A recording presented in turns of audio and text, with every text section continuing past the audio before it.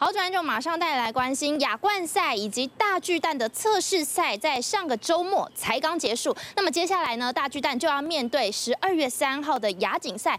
这一次的亚锦赛呢，就是由台湾来这边举办哦。那么除了大巨蛋之外，还有台中的洲际棒球场以及新庄的棒球场都会是比赛的场地。那这一次呢，大家也都很期待，因为呢，开幕战就会在大巨蛋来举行。那么在开幕战的时候，中华队会面对的就是强敌南韩队。那这一次的先发的阵容呢，其中包含了呃这一季的中华职棒 MVP，也就是徐若曦，他会不不会是面对南韩的开幕战的先发投手呢？一起来听教练的访问。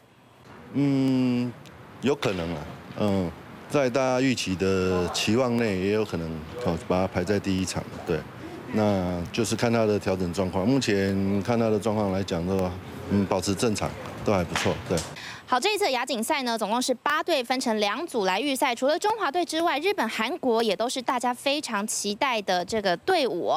那么这一次呢，除了先发的王牌之外，终结者三人，也就是李子强、林少恩和王正浩，都是大家非常看好的潜力股哦。那么这一次大家也非常期待在亚锦赛能够看到中华队非常好的表现。以上就是现场最新情形，再把时间镜头交换棚内。